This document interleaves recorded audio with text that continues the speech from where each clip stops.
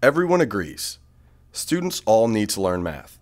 Yet, in spite of tremendous effort on the part of dedicated educators, it is not unusual to find students in the same class at three or even four different grade levels. How can one math teacher be expected to move them all up to grade level and still have time to teach the rest of the class? Ascend Math gives teachers the individualized assistance they need to help every student.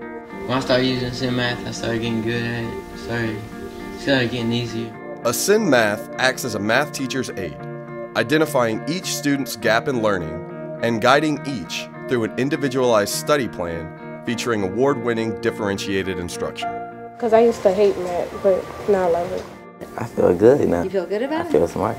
I liked math. I was I was okay at it. As I used Ascend, I got better and I liked it.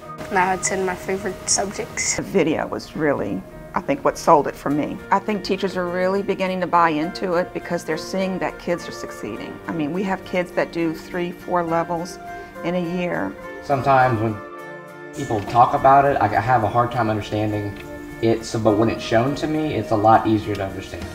I've seen an improvement in grades, and I, I think a lot of it has to do with the confidence that they're developing, um, being successful in Ascend, and then that confidence, you know, carries over into the classroom, and then they're not afraid to attempt a problem that is intimidating or scary. Students who have never experienced success in math are succeeding like never before.